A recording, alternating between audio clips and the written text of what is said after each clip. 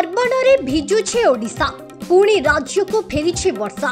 ଉତ୍ତର ବଙ୍ଗୋପସାଗରରେ ଓ ତାର ପାର୍ଶ୍ୱବର୍ତ୍ତୀ ଅଞ୍ଚଳରେ ଲଘୁଚାପ କ୍ଷେତ୍ର ସୃଷ୍ଟି ହୋଇଛି ଯାହାଫଳରେ ରାଜ୍ୟର ଅନେକ ସ୍ଥାନରେ ବର୍ଷା ଜାରି ରହିଛି। ଏନେଇ ଆକଳନ କରିଛି ଆଞ୍ଚଳିକ ପାଣିପାଗ ବିଭାଗ। ରାଜ୍ୟରେ ବିଜୁଳି ଘଡ଼ଘଡ଼ି ସହ ପ୍ରବଳ ବର୍ଷା ହେବା ନେଇ ପୂର୍ବାନୁମାନ କରାଯାଇଛି। ତା ସହ ତିନୋଟି ଜିଲ୍ଲା ପୁରୀ ଜଗତସିଂହପୁର ଓ କେନ୍ଦ୍ରାପଡ଼ାକୁ ୟେଲୋ ୱାର୍ଣ୍ଣିଂ ଜାରି ହୋଇଛି। ଆଗାମୀ ତିନି ଘଣ୍ଟା ପାଇଁ ଏହି ସବୁ ଜିଲ୍ଲାକୁ ସତର୍କ ସୂଚନା ମଧ୍ୟ ଜାରି ହୋଇଥିବା ଜଣାପଡ଼ିଛି ତେବେ ଆଜି ସକାଳୁ ସକାଳୁ ଅନେକ ସ୍ଥାନରେ ବିଜୁଳି ଘଡ଼ଘଡ଼ି ସହ ପ୍ରବଳ ବର୍ଷା ହେଉଛି।